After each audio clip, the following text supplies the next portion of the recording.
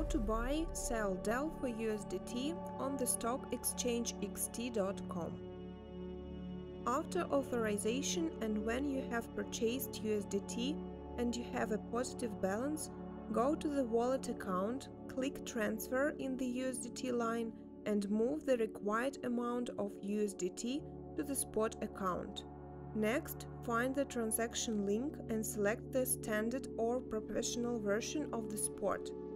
Here in the search field, enter DEL and activate the DEL USDT trading pair. The DEL cryptocurrency chart opens in front of you. On the right are the stocks cups.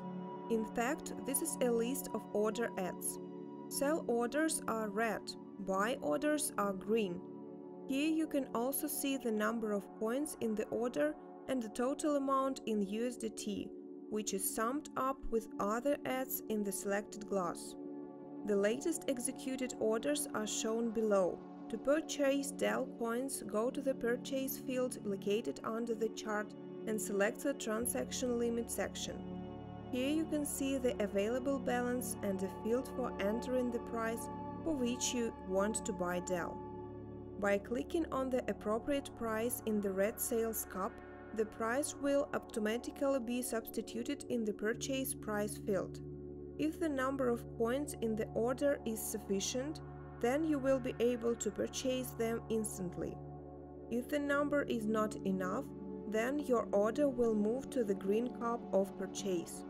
Besides, you can independently place your order in the green purchase cup if you put the price lower than in the red sale cup. In this case, you will need to wait until there is a seller who wants to sell you coins at the price you set. The same mechanics work in the neighboring field where you can sell the cryptocurrency that you have on your balance. By clicking on the appropriate price in the green cup, the price will automatically be substituted into the sale price. If there are enough coins in the order, then you will immediately sell your coins. If not, or the sale price is higher than the maximum in the green cup, then the order is automatically created in the red cup, and you will need to wait for a buyer who wants the price you set.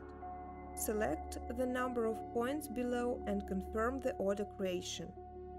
You can view all your trades in the order history at the bottom of the page. Here you can see active orders that are awaiting execution. You can cancel them and see the execution process. Below is the history of executed orders. All your assets for trading are in the spot account and they can be viewed on the corresponding page.